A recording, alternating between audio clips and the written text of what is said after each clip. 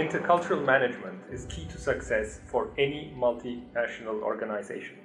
Fortune 500 companies executives state this as the most important factor for their global success. Too many deals fall apart, too many negotiations don't result in success, too many multinational teams don't reach their objectives, simply because of multicultural misunderstandings. Intercultural management is something, is a class that every student should take. If you're going to be in management, it doesn't matter what kind of management. Everybody should understand the person that's sitting in front of them, no matter where they are in the world, has a certain set of values that they've learned from the beginning of their life and are currently and always using uh, whenever they do a business deal, whenever they make eye contact, whenever they talk to someone.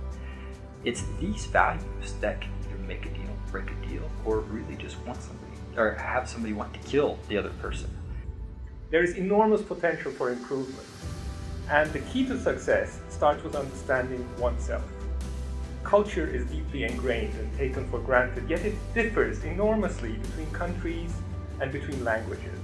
Understanding those differences enables managers to overcome those obstacles and get much better results in their business activity, lead their multinational teams much more effectively.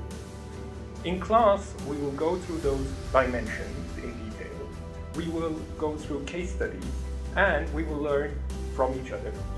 The ultimate objective is to provide every participant with the ability to master those differences, to obtain much better results, and to become an culturally adaptive manager.